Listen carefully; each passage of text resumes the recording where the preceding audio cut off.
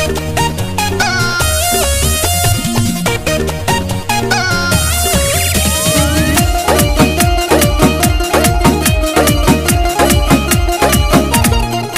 जी नमस्कार दोस्तों जैसे कि आप लोग के पता है कि खेसारी लाल यादव के एग्रीमेंट के चक्कर में कई गाने का शूट किया हुआ रोका गया क्योंकि कई गाने तो कंप्लीट है पर अभी रिलीज़ नहीं किया जा रहा है। तो मैं इसी से रिलेटेड मैं बताने वाला हूँ। दोस्तों खेसारी लाल यादव आए थे रात में लाइव और बतला रहे थे की अगर एग्रीमेंट के चक्कर में क्या मेरे गाना नहीं आएगा आएगा।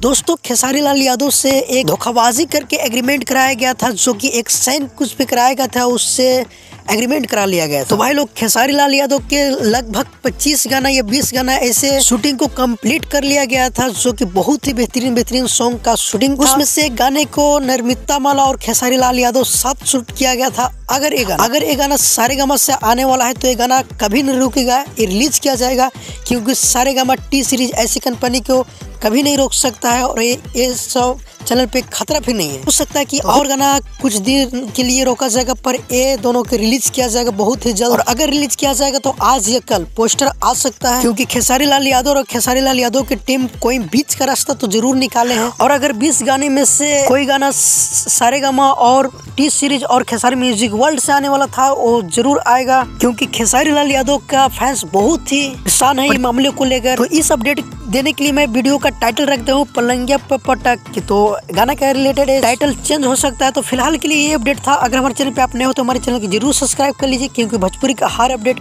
सबसे पहले हमारे चैनल पे आता है। और अगर आपको मन में कोई सवाल है तो हमसे पूछ सकते हैं, कोई सपोर्ट करना तो हमसे करवा सकते हैं। तो कमेंट करके ज़रूर बताइए, अगले वीडियो में रिप्लाई उसका मिल जाएगा। तो फ़िलहाल के लिए अपडेट था। मिलती किसी अपडेट के साथ। जब तक के लिए जय हिंद, जय भोजपुरी।